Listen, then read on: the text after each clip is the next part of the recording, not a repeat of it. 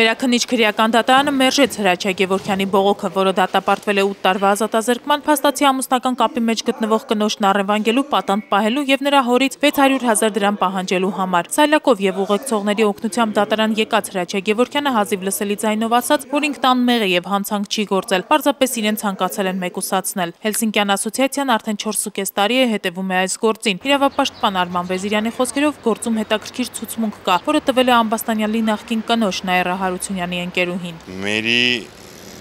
ազգանուն չեմ հիշում, որ ասել Նաիրան Մերիին ասել էր, որ գնա տուն, 1 ժամ հետո զանգի papaիս, ասա, որ հրաչինից պատանդա վերցրի թե ինչի համար թե ոնց, ասենք, տենց պայմանավորում են ու վրաս պատանդա վերցնում հրաչին։ Չանդրադառնալով գործի բաստողումներին իրավապաշտպանն ավելի շատ ցանկանում է ուշադրություն հրավիրել Հրաչյա Գևորքյանի առողջության խնդրին։ Նա ունի բազմաթիվ հիվանդություններ, որի մեջ մտնում է Պարկինսոնի համախտանիշը, որը կառավարության 825-ին որոշմամբ մտնում են ցանկի հիվանդության մեջ, որը ազատում է տվյալ կալանավորին պատժից։ Սակայն կառավարությունը ոչ մի քայլեր չի ձեռնարկում Հրաչյա Գևորքյանի դեմ, թե ինչն է հարցը, չենք տենում առավել եւս այսօր տեսանք մի նորից անօրինական մի որոշման եւ համոզվեցինք, որ մեր դատարանները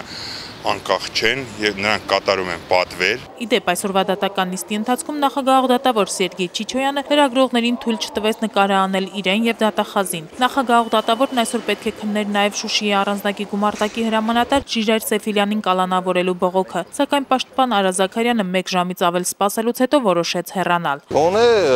պետք է մարդկային վերաբերմունք լինի, դուրս գան որևէ տեղեկություն հայտնեն, ասեն մոտավորապես այսին ժամին կքննվի, նման վերաբերմունք ինքը ինձ համար